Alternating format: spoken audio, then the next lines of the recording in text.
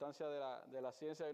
Bueno, las medidas que anunciaba ayer nuestro presidente y nuestro primer ministro pienso que están bastante atinadas y en consecuencia con la, con la situación que estamos viviendo. Es decir, es una, un proceso escalonado que pienso que es la mejor forma de ir volviendo a la nueva normalidad. Son tan importantes como las primeras. Y le digo al pueblo que hay que tener mucha unidad, mucho respeto, mucho humanismo y sobre todo ayudar y apoyar a las medidas de la revolución porque en definitiva estas medidas se revierten en el pueblo. En la medida que se han ido resolviendo los problemas, que se ha ido teniendo control de la, de la pandemia, de la enfermedad, la COVID-19, pues ya el sentido del momento es otro.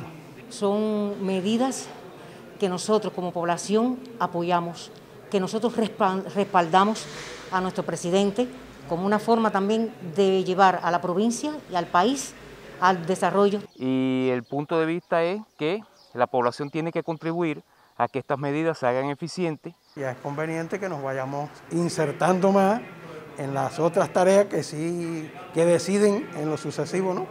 sobre el desarrollo del país y la sostenibilidad también que los trabajadores por cuenta propia eh, inicien su servicio.